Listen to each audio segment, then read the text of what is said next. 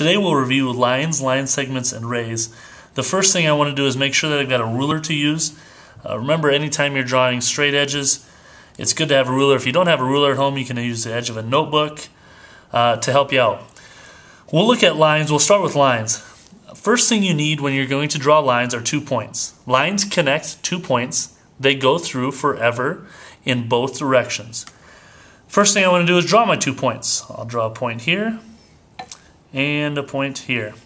Uh, when we label our points, they are going to be labeled with capital letters. Uh, for simple purposes, I'll do point A and point B. Now that I've got my two points, I'm going to connect them with my straight edge.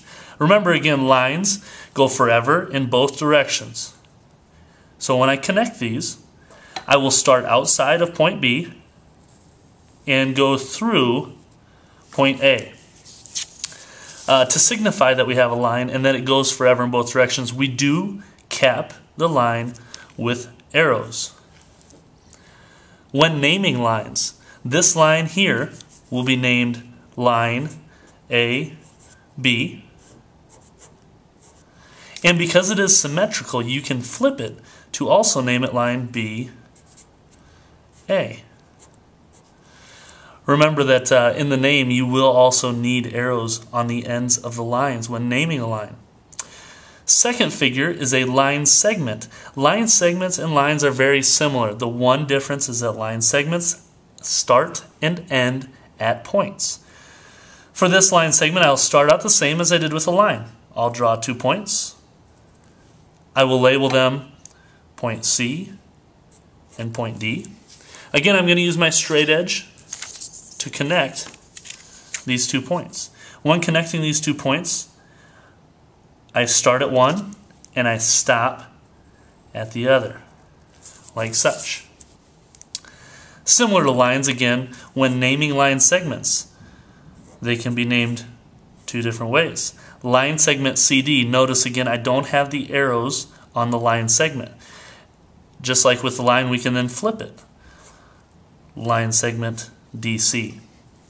And the last figure we're going to look at today are rays. Rays are a combination of both lines and line segments. Rays start at one point and continue through the other point. Uh, for example, I will again start the same way. Draw two points. I will do point E and point F. When drawing a ray, I will start at point E and continue all the way through point F. And similar to lines, we can show that it is going to continue forever by throwing an arrow symbol on the end. So again, lines go forever in both directions. Line segments stop, start at one point, stop at the other and rays start at one point and continue through the other. Now, similar to lines and line segments, rays can also be signified with a smaller name. This here will be ray E, F. And now, just like with lines and line segments, we've got to put a little symbol above it. Rays are special, though. Wherever the endpoint is, that same point has to have the endpoint in the name. Uh, similarly, the arrow is on point F side. So we can name it with point F. Uh, just by switching around, you can see as I rotate this ray, it can also be named